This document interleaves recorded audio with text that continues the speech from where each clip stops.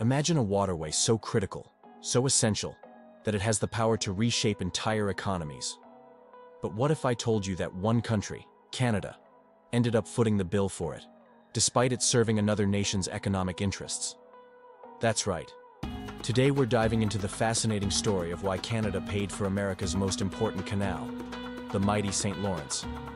Lawrence Seaway, an engineering project that transformed North America's trade routes forever. Stay tuned as we explore the untold history and unexpected twists behind this colossal infrastructure.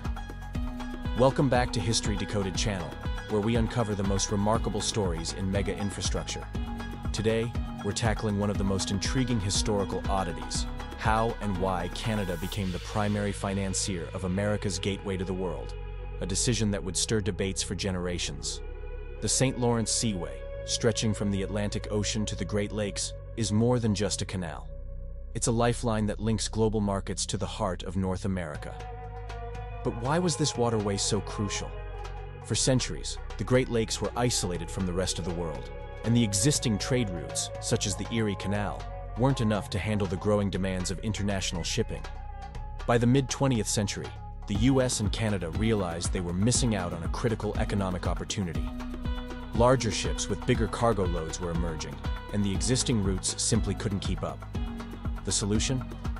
A vast canal system that could accommodate these behemoths. But that's where things get interesting. Canada, not the US, would be footing the majority of the bill. Why would Canada, a country with its own financial concerns, agree to take on such a massive project for its neighbor? It all started with a strategic realization. The US, still reeling from the effects of the Great Depression, was hesitant to spend millions on infrastructure. Yet Canada saw the potential to open up new trade routes, increase its own economic influence, and secure critical hydroelectric power.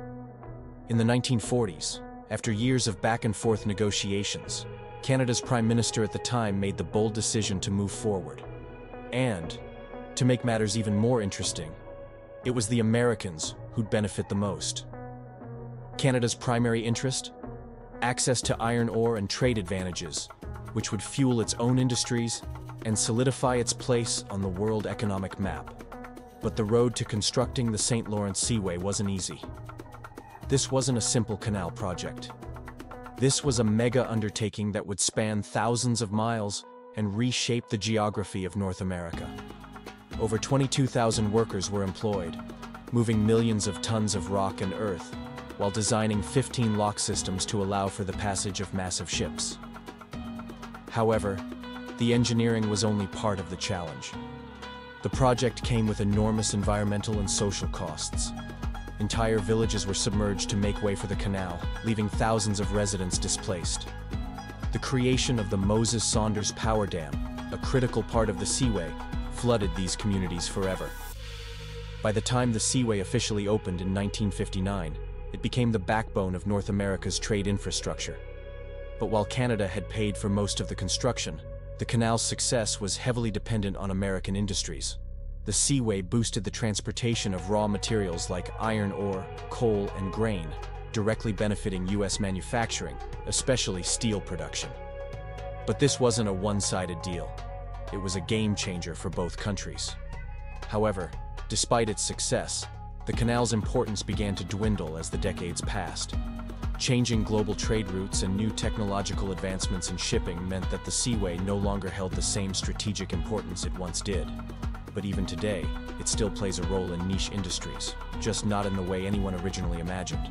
So, why did Canada choose to finance America's most important canal? The answer lies in the changing tides of history.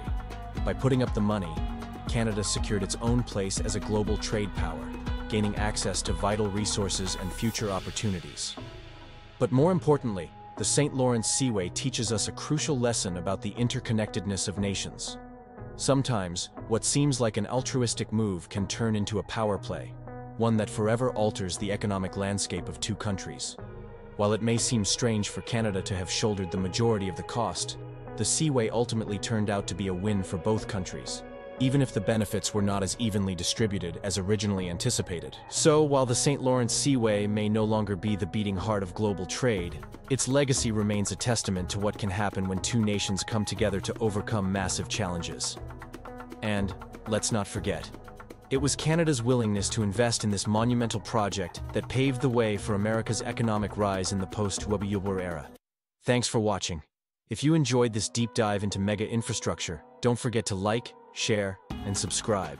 And leave a comment. What do you think about Canada's massive investment?